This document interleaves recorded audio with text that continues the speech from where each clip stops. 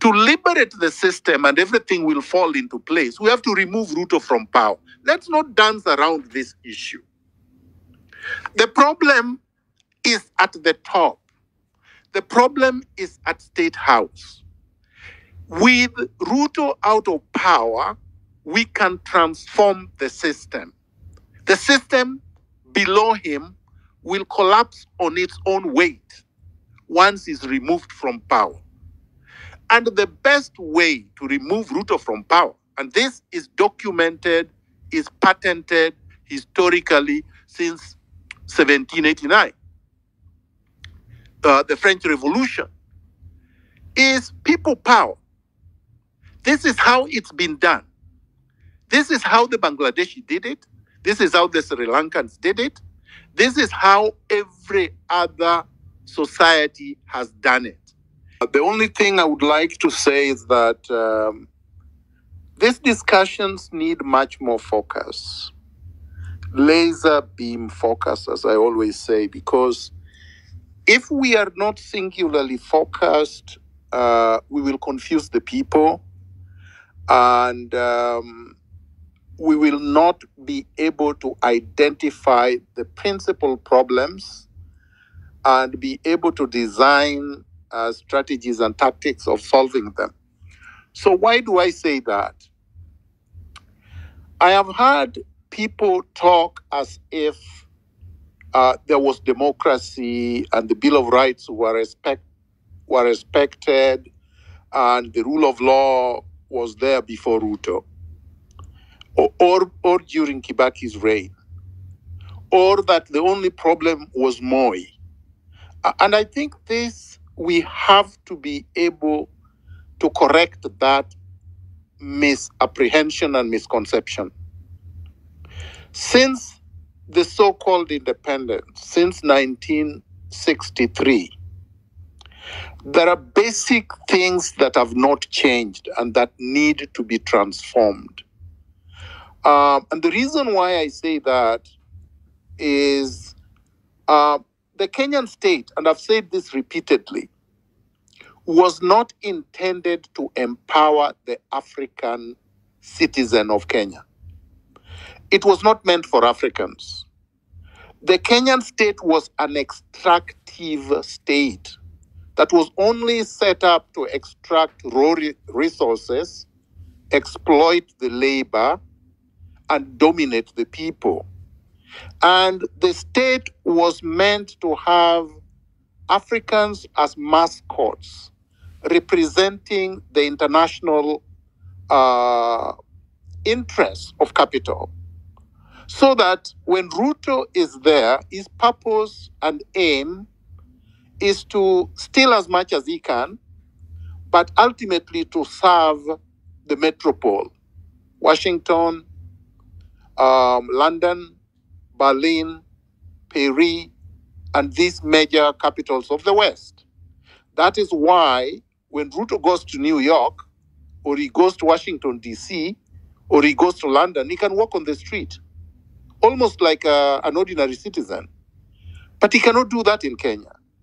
Because in Kenya, he's Lord, he's an imperial Lord. But in London, where he has lords that are supposed to be giving instructions on what to do in Kenya, he can behave as an ordinary citizen. In Kenya, he has a motorcade the length of River Nile. Whereas in Washington, he carries his own umbrella.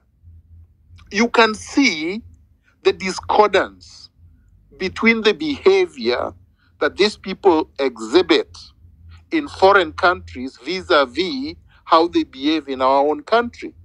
In our own country, they are slave masters and we are slaves. And in foreign countries, they are ordinary citizens. And this mentality, this structural defect, this structural setup is what has to be changed. That is why a lot of us are saying the problem is with the system.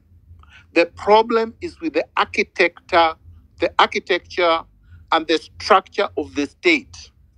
The problem is with the institutions that were set up not to serve us, not to accord us dignity, not to uh, preside over a democratic, fair, and just system, but to oppress us for as much as possible so that it is easier now to exploit us and to take the resources away from us.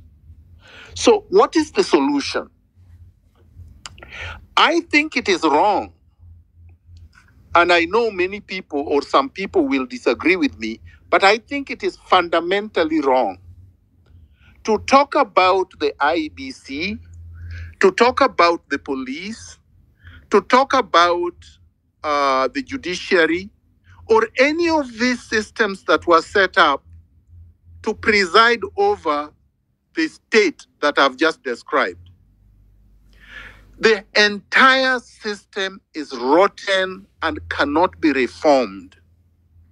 If you set up an IBC today, Ruto will put his cronies, the likes of Sudi or people like him, so that when any election comes, whether you dissolve parliament or you don't, the people that will be elected will behave worse than the ones that you have currently.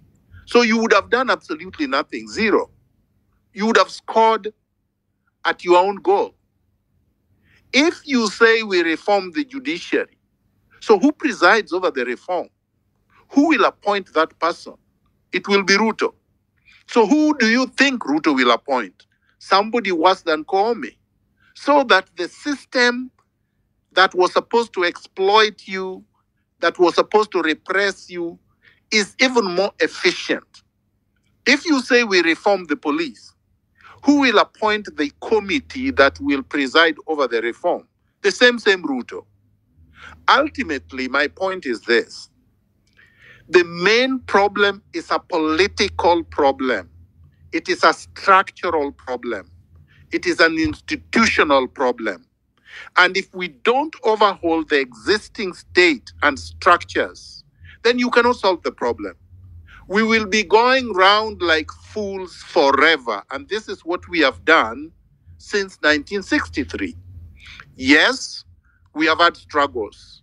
And yes, we've had veterans of struggles, and I've been one of them that have been struggling. But we've achieved so little. For instance, we managed to stop Moi from continuing until he died. So he ended up saying, Look, I repeal Section 2A and I reintroduce multi party politics. But then they came around, mutated, and took over the multi party politics. And they're the ones who have been controlling. So nothing much changed. Yes, the previous constitution, the old one, allowed Moi to detain us anytime he wanted to torture us at Nyayo torture chambers anytime he wanted, to force as many people into exile as he wanted. And yes, we made sure that a new constitution came into being, which is what we have the Constitution of Kenya 2010. And people died. Thousands of people died. Thousands of people were tortured. Thousands of people were exiled. Ngugi is still in exile, for example, right? I mean, Chelagat Mutai died a pauper because of it. Bildad Kaggia died a pauper because of it. Pinto was murdered. So when we say there has been a, an ongoing struggle from 1963, we are not joking. Anybody who wants to say that, oh, only Gen Z started struggling, that person will have to be liberated from their colonial mentality many, many, many people have suffered to have us now be able to speak and challenge a sitting president the way that we are doing. But it's not been enough. So, what is it we have to do? Because state capture is the norm, is the order of things. Adani will not go. Adani is actually Ruto.